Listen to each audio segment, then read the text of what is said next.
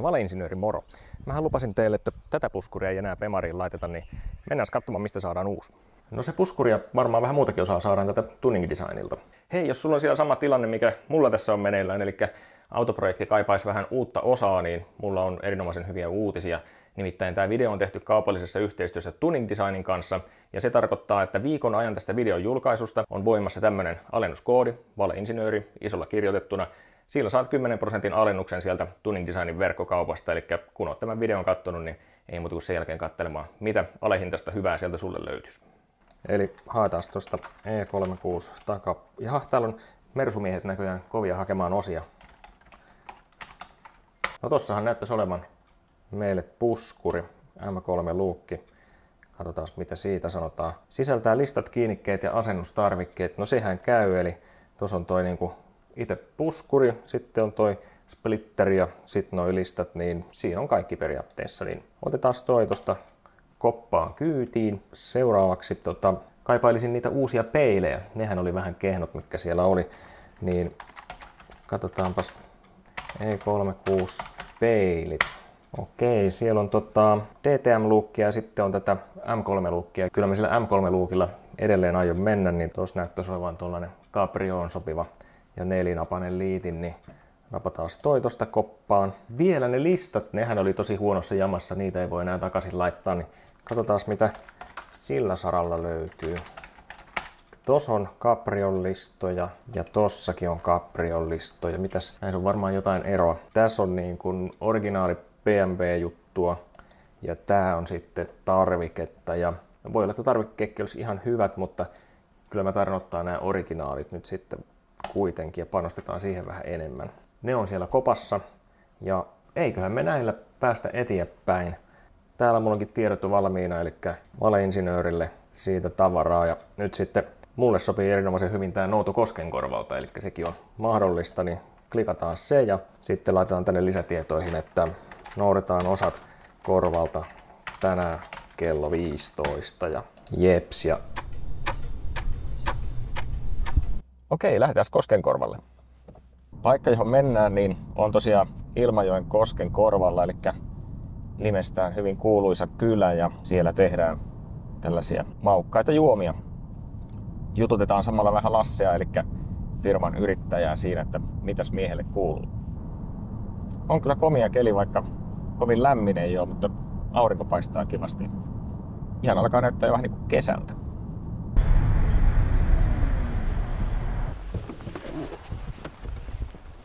Terve. Morjesta. Mitäs valeinsinööri täällä pyörii?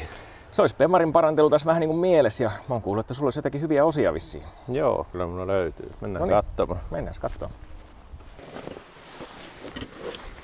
Jahas, no niin, siellä oli.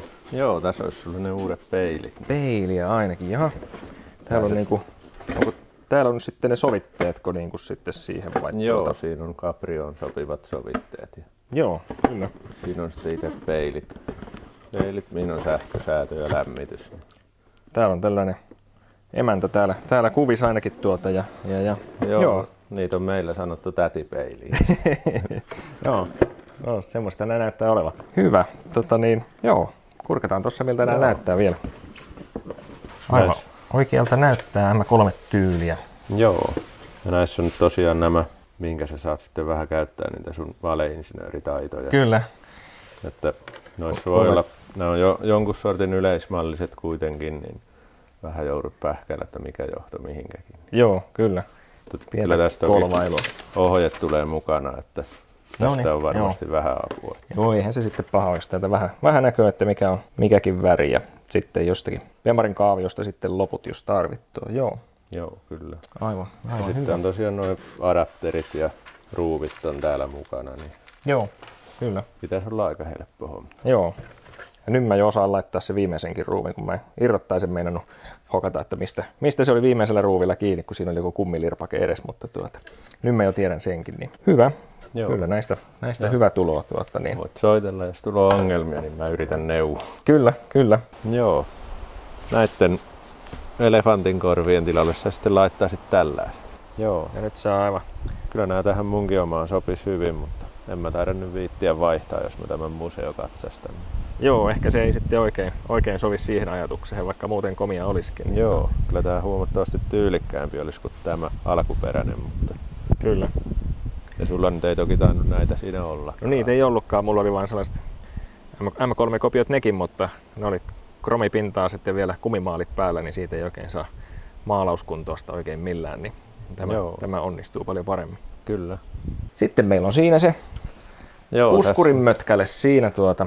Joo, tämä olisi nyt sen sun, oliko se nyt Riegerin vai minkä valmistama se Ehkä joo, niin mä oon vähän veikkaillut, että se on ehkä riekeri, mutta en, en ole varma kyllä, mutta tuota, musta se näytti vähän, vähän Joo. sellaiselta. Ja, ja siis no, kamalaltahan se myöskin näytti, mutta tuota, nyt siitä päästään eroon. Ja, Joo, tämä on ihan asiallinen, että tämä on niinku oikein M3 näköinen, että sen huomaa näistä pokkauksista parhaiten, että sitten on niitä, Joo. mihinkään vaihdettu vaan tämä diffuusori, mutta tämä on pikkusen erilainen kuin sitten tämä on tämä M3 luukki niin sanotusti alkuperäisesti. joo, kyllä. On kyllä ihan laadukas tarvikeosaksi ja Joo, listat tulee mukana ja Kyllä. kiinni, kiinnikepaikat on samanmoiset kuin alkuperäisessä. Niin. Tämä itse asiassa mua vähän kiinnostaa, kun se kiinnike siinä nykyisessä oli, oli vähän mitä oli, niin tuota, täällä on niinku, Täällä on tällaiset kelkat, mitkä liuutetaan Joo. sitten paikoilleen. Ja täällä on pieni sisä- epäilys, että sieltä mun autosta saattaa ehkä puuttua jotain tästä kohtaa, mutta pitää, Joo. pitää hommata, jos, jos puuttuu, koska se oli vain semmoisilla Joo, ruuveilla siellä, siellä kiinni se vanha. joo nämä on sinne ihan niin alkuperäiskiinnikkeisiin tarkoitettu. Ja, Joo, kyllä. Joo, se oli mulla epäilyksenä justiin vähän, että saa nähdä kuinka, kuinka käy, niin voi olla, että mun pitää hommata siihen ne väliin, väliin ne tota, palat, Joo. mitkä siellä kuuluu olla. ja sitten tuo sisällä näkyy tuo maalausohje, ohje, mikä kannattaa lukasta ennen kuin rupeaa tekemään pohjatöitä ja maalauksia. Niin. Okei, eli tuolla oli toi Joo, painting instruction, joo. tässä on pohjamaali valmiiksi päällä, mutta Okei, se kokemuksien mukaan ei kestä mitään kovin väkeviä liuottimia. Eli Joo. ihan vaan vesihion tällainen 800 paperilla ja jos haluaa poistaa rasvaa tai muuta, niin saippua vedellä. joo, ettei mitään kovin Ei. tymäkkää myrkkyä kannata laittaa rasvan pois tuohon, että Joo, ei. muuten, muuten saa laittaa uudet pohjat sitten tuota, Niin, niin, sen kyllä. jälkeen. Joo, no mutta se on toisaalta hyvä kyllä, että siinä on valmiina jo pohja siinä mallissa, että tuota, jos ei sitä sulata, niin saa, saa sitten vain tuota, laittaa pintaväriä päälle. Ainakin tämä näyttää tämä pinta kyllä hyvältä, että ei tämä niin kuin sinänsä mitään suurempaa kaipaa, että tuota, Joo, ei kevyt, kyllä kevyt hionta, niin se on siinä. Joo, ja nimenomaan vesihionta on hyvä, että se Joo, poistaa sitä staattisuutta muovista, niin joo, kyllä kyllä. ei tartu sitten maalates roskat niin hyvin. Joo, tämä taitaakin niin kuin olla musta yleensä tämä, tämä Joo. osa tuota niin sitten. Ja, Joo, tämän Ja voi laittaa tietysti. sellaisenaan, että Joo. listat samaten, että ne on valmiilla pinnalla. Kyllä. Hyvä. Eiköhän tästä jotakin tuu, jos enää kauheita valumia saa aikaiseksi. Että se on aina vähän 50-60, että kun rupeaa maalaamaan, että tuota, kuinka, kuinka käy, mutta mä koitan nyt taas olla kyllä skarppina ja kyllä tässä on lueskeltu ja katseltu monenlaista maalausvideota jo tässäkin vaiheessa, että tulisi, tulisi taas jonkinmoista pintaa, mutta aina se on sitten, siinä on paljon muuttujia, sanotaanko Niin. näin, että Joo, jos oikein rupeaa maalaaminen ahdistamaan, niin meiltä saa maalauspalvelunakin näitä. Että, Ja tuo alkaa kuulostaa liian houkuttelevalta, mutta Niin. maalinsinöörin periaatteeseen kuuluu, että pitää vähän niin kuin yrittää itse, vaikka menisikin pieleen, niin tuota, täytyy ainakin sillä, sillä lähteä liikenteeseen. Ja sehän on aina mukava sitten tuo, tuoda ammattilaiselle sen jälkeen, kun on ensin itse sössinyt niin. Niin. ne pohjat sinne, niin tuota, se aina huomattavasti niin kuin helpottaa sitä projektia Joo, siinä kohtaa. Joo, siinä saa kaksinkertaisen työn helposti aikaan. Kyllä. Mutta kyllä sä sen saat maalattua. Hyvä, nämä näyttää oikein hyvältä, niin tuota, sitten meillä oli listahommia ainakin vielä Joo, katteltavaa. katsotaan vielä listat siihen. Niin. Niin, no niin, ja siellä tuli Joo. listapaketti sitten siinä. Joo, tässä olisi nämä listat. Joo. Nämä on Bemarin alkuperäiset li- M-sporttilistat, niin näillä sä kyllä saat viimeisen päälle On, on vimpan päälle hyvät, joo, kyllä. Joo. Ja sieväs paketissa kaiken lisäksi, niin tuota, joo, Joo, siinä on kaikki Kyllä ne- kiinnikkeet ja muut mukana. joo, olikin aika toivottomaksi mennyt ne vanhat. Kyllä nämä kestää taas seuraava 30 vuotta sitten nämä, nämä todennäköisesti. Joo, eiköhän ne. Kyllä, loistavaa. No niin, meitä on täällä nyt valeinsinööri sekä aivan oikea insinööri. Eli kuka oot ja mitä teet? No joo, mä oon Lasse Hattula ja pyöritän tämmöistä Tuning Design nimistä verkkokauppaa, että on 2009 aloitellut. Kyllä. Lisäksi harrastuksena nykyään viljelen vielä maata. Miten sulla aikanaan tuli tämä idea perustaa tämmöinen tuning-alan firma? Mm, joo, mä harrastelin itse opiskeluaikoina auton tuunailua ja tuntui olevan vähän rahat lopus ja osia piti saada edullisesti, niin sitten tuli tilailtua ulkomailta osia ja kaverit halus kans niitä samoja, samoja sitten niin tilailin sitten niillekin ja sitten yksi valmistaja kysyi, että olisiko Suomessa jälleen myyjä näille, kun menekkiä jonkun verran tuntuu olevan, niin mä sitten tarjouduin itse, että kyllä mä voin, voin tuota kokeilla, että lähtisikö. Joo, kyllä. Siitä on sitten pikkuhiljaa lähtenyt, että ollaan nykyään 1504 varastoa. Kyllä. Asiakkaitakin on vähän enemmän kuin ne kaverit vain, vain tosiaan tässä kohtaa. Joo, en tiedä tilaako kaverit enää. Joo. Kyllä ne tilaa. Kyllä, kyllä. Joo, kyllä me yritetään kaikki, mitä verkkokaupassa on, niin varastoida tänne Suomeen. Koskenkorvan varastoon. Niin to... Kyllä. Joo, täytyy sanoa, että se on kyllä näin niin kuin harrastajanakin tosi mukava, että sitten kun tulee se äkillinen tarve, että pitää jotakin saada, niin kuin se yleensä tulee, että se pitäisi saada nyt just heti sitten se tavara, niin, niin tuota, se on kohtuu näppärä sitten, kun sitä oikeasti on varastossa, ettei se lähde jostakin kaukaa heti sitten vasta liikkeelle siinä kohtaa, kun tilausta tehdään. Joo, kyllä se on se. Niin kuin tärkeää, että sen saa nopeasti ja sitten ollaan pystytty tulla edullisemmaksi kuin muut. Joo, kyllä. Joo, mä oon kanssa tuossa huomannut, kun aiemmin jo kattelut tuota takapuskuria, että pitäisi joskus vaihtaa se tuohon Caprioon, niin tuntuu, että hinnat on vaan tullut alaspäin koko ajan, että oikein itsekin totesin, että tämähän on jo aivan hyvinkin kohtuuhintainen tässä kohtaa, niin, niin, niin ei se ole muuta kuin pakko todeta, että nyt se, nyt se on sitten laitettava sekin kuntoon. Joo, joo kyllä se vähän kertoo sitä tuunauksen yleistymisestäkin, että se ei ole enää niin kuin pienen porukan juttu, että se on mm, totta. vähän kaikkien. Joo, kyllä. Mitenkäs sulla itsellä sitten, tuota, mä oon ymmärtänyt, että sulla, sulla tosiaan on tätä harrastajataustaa kans, kans sieltä jo pitemmältä aikaa, niin tuota, minkälaisia vempaimia sulla on ollut tuossa matkan varrella sitten? No joo, mulla on ollut ensimmäinen auto, mihinkä harjoiteltiin noita tuunauksia. Ne nyt oli tietty peltoautoihin ihan ekoja kaikkia spraymaalauksia ja muuta, mutta joo. sitten vakavissaan semmoiseen selikatojotaan, mikä oli eka ajokorttiauto. Ja Joo, kyllä. Niin, niin, sitten on ollut paljon pemareita ja muita, että nyt mulla on sitten nykyään sama auto kuin sulla, että mulla on E36 Caprio tuossa. Siihen on vähän, vähän tullut tehtyä myös pientä muutosta, mutta toiseen suuntaan, että on yrittänyt sitä museoautoksi palauttaa. Kyllä, joo. No se on varmasti aivan hyvä, hyvä idea tosiaan tässä kohtaa, että kun te hyviä yksilöitä ei enää niin kuin mahdottomasti ole jäljellä ja kuitenkin tuntuu, että hinnakki alkanut nousemaan, niin varmasti aivan voi, voi jopa puhua jonkinlaista sijoituksesta ehkä pitemmän päälle sitten, kun se Joo. hyväksi laittaa. Niin Joo, kyllä tässä on tullut nähtyä, että se on harvinaisuus tuo E36 vakio etupuskuri. Niin, se on kääntynyt kyllä. niin päin. Joo, kyllä, että ne on, ne on kiven alla. Joo, Joo kyllä. kyllä. Mitenkäs se muut autot kuin tuo Caprio, tuota, onko sulla minkä tyylistä sitten ollut siellä Pemareita sanoit, että on ollut, niin onko ollut kolmossarjaa, vitossarjaa, minkä, minkä muista? Joo, kyllä mulla on ollut niin kuin paljon vitossarjoja käyttöautona ja niitä on sitten aina tullut laitettua siistimmän näköiseksi näillä tuning designin osilla. Ja sitten tuota, niin, niin harrastepuolella mulla on ollut sitten kolmossarjaa E92 ja E93. Ja Joo.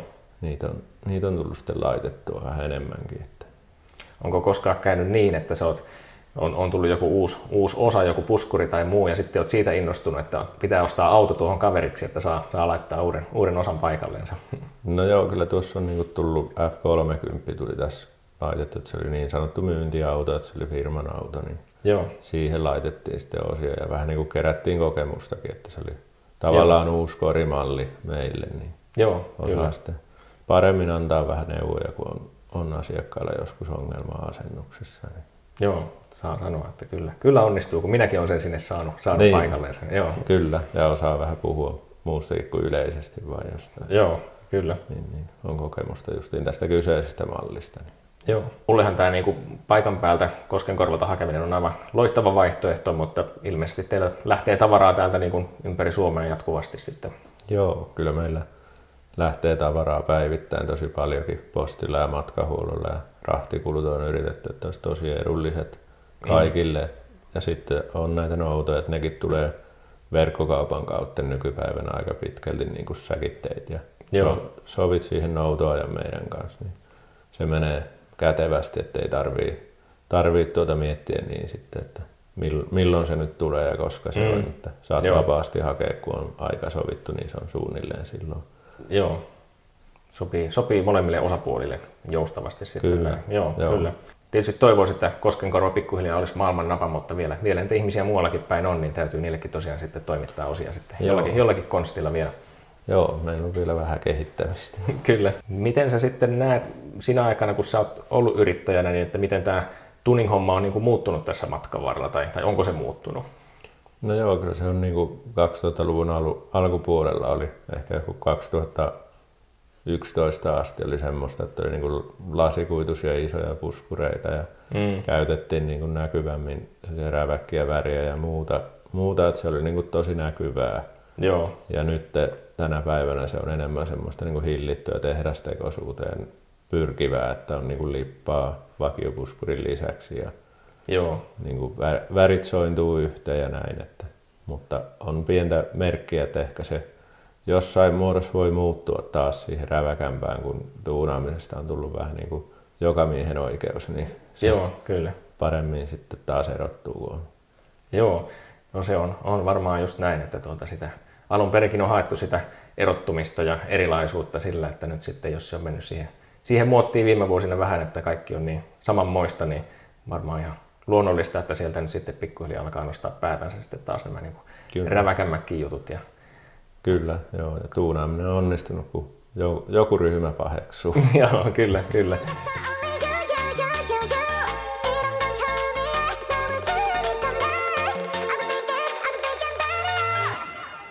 No niin, kiitoksia. Nyt on Joo, auto täynnä tavaraa. joo, kyllä me saataisiin vielä vähän, mulla olisi tuolla muutamat vannessarjat sulle ja muuta. Että No itse asiassa tuota, no joo, ei, ei ehkä tähän, mutta tuota, ehkä, ehkä johonkin muuhun laitteeseen Joo. katsotaan. Joo, pitää katsoa jatkossa. kyllä, kyllä. Joo, ei mitään. Ei mitään, kiitoksia, niin palaillaan taas. Palataan. Joo, moro. moro.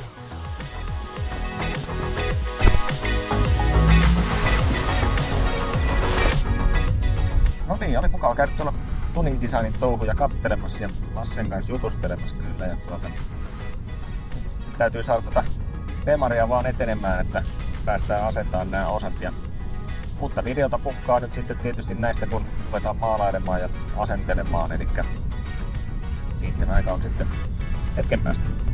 Mutta mä ajelen nyt täältä Koskenkorvalta kotia päin.